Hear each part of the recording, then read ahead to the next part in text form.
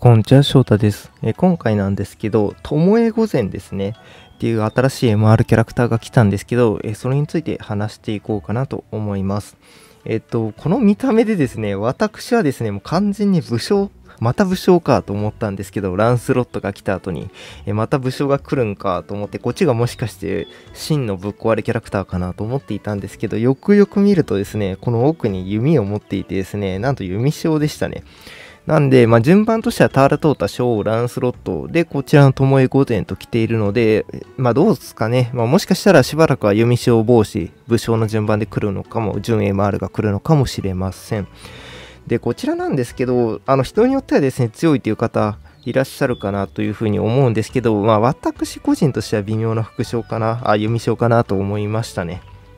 えっと、まずは奥義なんですけど、えっと、もえ御前、えっと、馬長の、えーこちらは昔はですね、ログインボーナスで取れた馬長の UR アバターですね。で、紹介の UR アバターと修繕ですかね。これら4名で、えー、臨床値レベル ×20 っていう奥義が解放できます。まあ、臨床値レベル20ぐらいだと他にもいろんな奥義あるので、それは優先する必要はないかなと思いますね。えーそれではですね、スキル1の性能、スキル2の性能、パッシブ、最後にまとめをやっていこうと思っています。えーまずはですね、スキル1めっちゃ長いです。めっちゃ長いんですけど、私はそんなにじゃないかなって思ってます。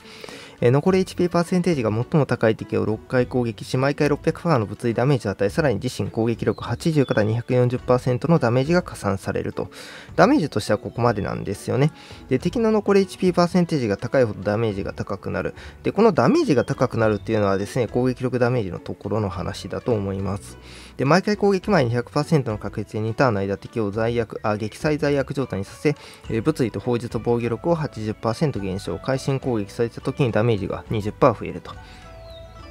で、敵が、えー撃砕状態の場合、攻撃後に100%の確率で2ターンの間敵を封印罪悪状態にさせ、毎ターン自身臨床値の20倍分の HP を減少、まあ、防御無視ダメージが入るっていう風な感じです。まあ、ネロ以来ですね、あの封印罪悪ですね、えーまさか臨床値というか弓将がえー封印罪悪を付与するとですね、臨床値の、えーダメージが入るってことはちょっとびっくりしました。同じ敵を再度攻撃する場合ですね、敵の状態状態値を100%無視することができます。まあ、残り HP が最も高い敵を6回攻撃するんで、まあそうですね、まあダメージが低ければですね、あの同じ敵をですね攻撃することできるかというふうに思うんですけどあのこのキャラクターですねいっぱい、え育成してですね、まあ、ダメージが大きくなってあのそえー大きくなってくるとですね別の敵を攻撃してしまうこともあると思うので、まあ、この同じ敵を再度攻撃する場合っていうこの条件ちょっと厳しいかなというふうに思います、まあ、これさえ達成できればですね撃砕罪悪と封印罪悪ですね、えーこれこちらどちらも付与することができるようになりますので、まあ、そこまでいけるとですね非常に強力かなと思います。でまああとこれ、まあ、再度攻撃する場合なんで、まあ、マックスで3名までしか付与できないんですよね。まあ、状態状態性がない、えキャラクターに対してはですね、え付与できるんですけど、状態状態性のあるようなキャラクターに攻撃していく場合はですね、まあ、再度、まあ、要するに2回目の攻撃ですね。2回目、4回目、6回目になることが多いかもしれないですけど、の攻撃でですね、え敵をですね、撃砕と封印にしていくっていう必要が出てくるので、まあ、ちょっと多くの敵にばらまくことができないというところもちょっとネックかと思います。で、えー、全ての攻撃後、自身が総ダメージ30%の HP を回復と、えーそして2ターンの間、自身が残影制御状態になり、回避率が50%減、えー増加。で、受けるダメージが40%減少で、回避するたびに、えー受けるダメージが追加で5%減少、最大40%追加減少可能なので、8割カットまですることができるというふうなものになっております。まあ、長いんで、それなりに強力なんですけど、実際のダメージですね、えーここにですね、撃砕が、まあ、乗ってくるとですね、えー火力としてはですね、まあ、倍近い火力にはなってくるのかなと思うんですけど、まあ、単純なスペックで言うと、3600%の物理ダメージと、え攻撃力の80から240%まで触れるので、まあ、480から1440%のダメージを出していくことができると。え強みとしてはですね、えこの中にかなり盛り込まれていて、敵に撃砕と封印を付与しつつ自身に残影を付与することができるっていう、なかなか面白いスキルかなと思います。これハマるとですね、まあ敵全員をですね、撃砕封印にしながら、え自分は残影状態に入るっていう風なことができるので、まあそこまでできると非常に強力かなというふうに思います。まあそうですね、まあ、一応ですね、状態状態性無視100%つける条件っていうのもありますので、まあ、そういった意味では非常に強力なスキル1だと思います。弱みとしてはですね、えー、弓章なんで、あタワーソートは除きますけど、基本的には残影に頼って、えこうえー、敵の攻撃を、まあ、かわしていくっていう手法を取っていくのかと思うんですけど、残影に入ることができるんですけど、このスキル1を打つと。まあ、ただそのターン数が2ターンっていうところでですね、非常に短いです。リコーとかはですね、5ターン残影状態、まあ、あれは出陣時ですけど、入ることができることを考えると、まあ、2ターンしか、残影入ることができないっていうところで、まあ、残影のターン数で言ってもですね、まあ、スキル2を打った後はもう、基本的にはですね、もう残影でもかわすことができずに落ちてしまうということが多いかなと思います。で、撃砕と封印ですね。まあ、これ自体は非常に強力かなとは思うんですけど、まあ、複数名ですね、の相手に付与していくっていうのはちょっと難しそうだなという風な印象は持っています。まあ、そこが少し微妙かなと思いますね。でスキル2です。こちらはかなりスッキリしましたけど、残り HP パーセンテージが最も低い敵4名に640%の物理ダメージを与え、なんでまあ範囲攻撃です。えさらに自身、えー、自身敏承値の8倍のダメージが加算される。毎回攻撃前、敵の残り HP が50%より低い場合、会心率が50%増加。まあ、HP パーセンテージ低い敵狙ってるんで、まあ、これになることも多いのかなと思います。え敵が異常状態の場合、異常状態が1つ多いごとにダメージが1倍増加、最大3倍増加可能。この異常状態っていうのは赤いデバフとですね、黄色の罪悪状態、どちらも含むので、まあ普通に赤いデバフですね、を敵に付与していてもですね、いいっていうことになります。まあこのキャラクターだけで言うと、敵に撃砕と封印を付与することができるので、まあ2つですね、異常状態を付与する。なんでまあダメージは、えー、まあ2倍追加されるのかなと思います。で、自身の残り HP が50%より低い場合、そのダメージ100%の HP を回復と。毎回攻撃後、自身の残り HP パーセンテージが敵より高い場合、その敵を1回追加攻撃する。まあ、このキャラクターですね、反射耐性ついているので、まあ、反射によるダメージっていうのは、まあ、少なめのキャラクターとなっています。まなので、攻撃した後ですね、自身の残り HP パーセンテージが適用高い場合っていうのは作りやすいと思いますし、まあ、この条件に関してはですね、最近だとバリアですね、SN の兜とか鎧とかですね、そのあたりのバリアを、え、うまく使ってあげるとですね、流血にならない限りはですね、HP 回復だけをすることができるので非常におすすめです。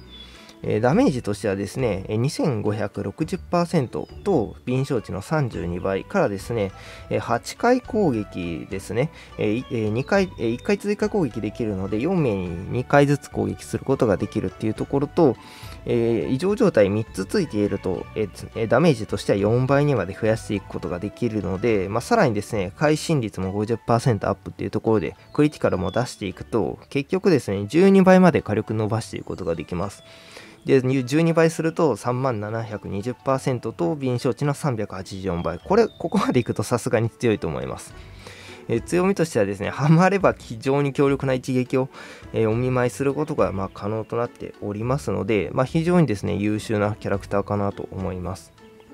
弱みとしてはですね、えーと、こちらに関してはですね、範囲攻撃となりますので、えー、他のですね、デバフキャラクターのサポートがあった方がダメージとしては出しやすいのかなと思いますね。このキャラクターだけだと、あの、うまいことですね、あの、まあ、少なくとも、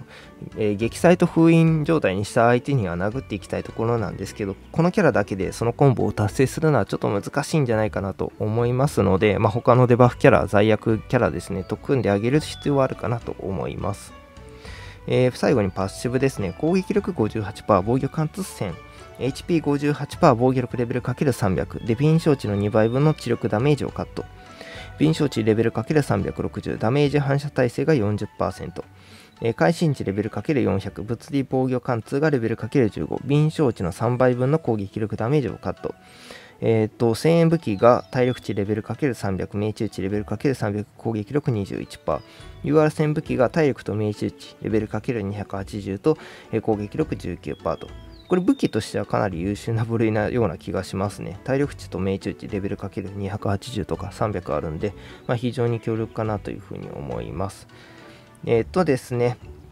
まあ強みとしてはですね、ちょっとまあ反射耐性が少しあるぐらいなのかなというふうに思います。まあ、あとはですね、どっちかってっていうと、まあ、闘技場というよりかは、戦役とかボス戦ですね、で使っていきやすいような感じですね。命中値ありますし、会心値ありますし、まあ、防御力のパッシブとかもあるんで、まあ、どっちかというと、なんか対人向きとかではないような感じがします。えー、弱みとしてはですね、耐久があの2ターンの 3A 制御だけにこれだと頼ってしまうということになりますんで、パッシブとかで特に特殊なものないので、まあ、正直ですね、対人戦私はそこまで強くないんじゃないかなと思います。まあ、もちろんしっかり育てるとですね、まあさすがに撃砕と封印を相手に何名か付与するだけでも強力かなというふうに思いますので強いとは思う強いとは思う一方でですねちょっとまあ弓章で2ターンの残影しかないってなると結構きついんじゃないかなと思っています。最後にまとめですね。え、まず戦役とボスに関してはですね、まあ、スキル1でですね、比較的えー、撃砕状態ばらまいていくことは、まあ、攻撃が当たればですね、ちょっと当たんないかった時はですね、同じ敵に攻撃してしまうことになるかなと思うんですけど、攻撃さえ当たればですね、敵全体に、えー、撃砕をばらまいていくことができるかと思うので、まず強力っていうところと、えー、さらにスキルにですね、しっかり、え4倍のダメージですね、異常状態3つつけて、敵に異常状態3つつけてあげるとスキル2の火力ですね、え4倍にまで増やしていくことができますので、まあ、それをやってもらうとですね、いいんじゃないかなというふうに思います。えー、闘技場に関してはですね、まあ、封印と撃砕ですね、こちらを、まあ、うまくばらまくことができるとですね、まあ、非常にいいかなというふうに思います。あの、下手に育てずに使ってしまうとですね、あの、多分、HP パーセンテージ一番高い敵に6回攻撃して、まあ、それはそれでですね、撃砕と封印は付与できるかと思うんですけど、1名にしか付与できないと。で、逆に育てていくとですね、一撃が重くなりすぎてしまって、攻撃がばらけてしまってですね、ただダメージを出すだけになってしまうっていうようなところがあるので、なかなかですね、扱いが難しいんじゃないかなというふうに思っています。で城に関してはスキル1回復ありますんで、あの比較的ですね、場持ちはいいんじゃないかなと思います。え、強みとしてはスキル2ですね、特にハマれば火力高いと思いますので、おすすめかと思います。まあ、戦役とボスで使いやすそうっていうのはおすすめポイントかとは思いますね。え、弱みとしては弓章っていうところもありますし、まあ、耐久ですね、あの不安です。2ターンの残影しかないです。一瞬でやられてしまうかと思います。あの、2ターンの残影しかないですし、あの、当たっちゃうと多分普通にですね、すぐ落ちちゃう。復活とかも特にないので、まあ、一瞬でやられてしまうと思いますね。えー、まとめとしては見た目はですね、見た目めっちゃいいですよね。まあ、ちょっと見た目はびっくりするぐらいいいんですけど、あの、それ目当てなら非常におすすめです。あの、性能メインで言うのであればですね、読み書というところもあってなかなか使う方を選ぶかなと思いますし、まあ、正直ですね、あの、育成しすぎてもちょっと使いにくいですし、育成しなさすぎても使いにくいような印象がありましたので、まあ、個人的には、まあ、万人にはおすすめのキャラクターではないかなと思います。えー、これで今回の動画を終わりにしようと思います。これからも放置少女の動画を上げていくので、もしよければ Twitter のフォロー、高評価、チャンネル登録よろしくお願いいたします。